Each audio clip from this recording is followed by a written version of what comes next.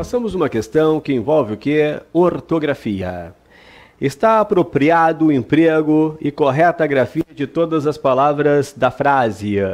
Vamos analisar uma a uma. Letra A. A opinião do autor vai de encontro à daqueles que veem no cinismo uma das armas que os humoristas não ó, dispensam, não, né?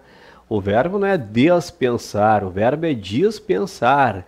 Então, dispensam.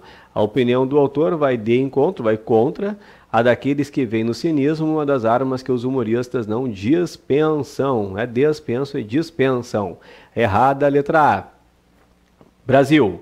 As emissoras lutam entre si pela obtenção. Opa, opa, opa. Obtenção. O que, que acontece?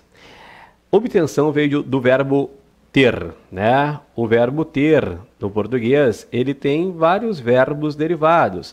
Eu tenho então o verbo obter, tá?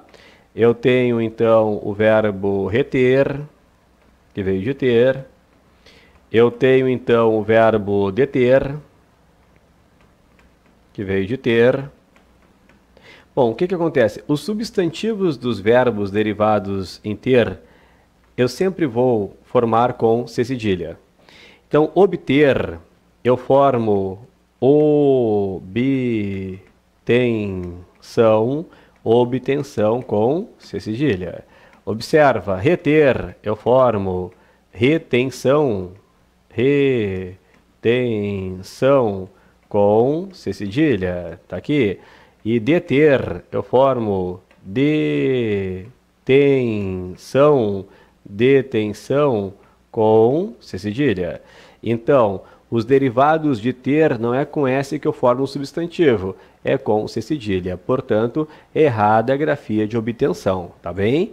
Obtenção de um grande nível de audiência, razão por que fazem. Razão por que fazem, é razão pela qual fazem.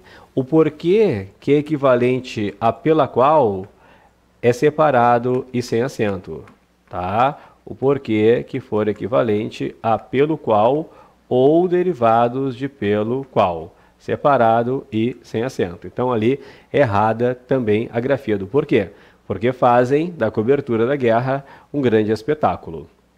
Errada, não deu. Depois, Canadá. Os discursos dos governantes revelam toda a sua hipocrisia quando enfatizam a nobreza dos motivos que os levaram à conflagração. Observa, não há erros na letra C. Os discursos dos governantes revelam toda a sua hipocrisia, com S, né?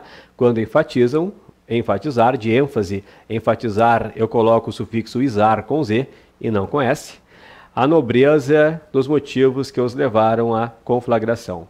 Marca para mim, letra C de Canadá é a nossa resposta.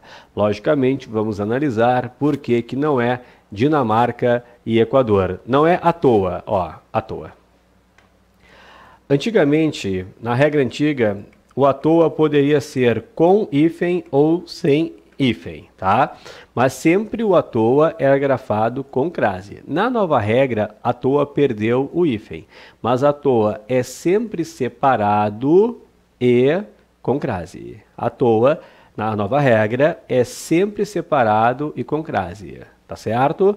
Antigamente, o à toa com hífen era sem vergonha, ordinário, inútil, ruim, e o à toa sem hífen era sem rumo. Então hoje não, nova regra, não tem mais hífen, ponto. Mas é sempre separado e com crase. Então à toa, tudo junto assim como está, não existe esse à toa, tá certo? Errada aqui a letra D de Dinamarca. E depois Equador, a asepsia, olha aqui, olha aqui. Asepsia, dois S aqui, ó, impossível. Não há como eu colocar depois de uma consoante que é o P dois S's. Isso não existe, tá? Por exemplo, ó, insolúvel com dois S's, impossível.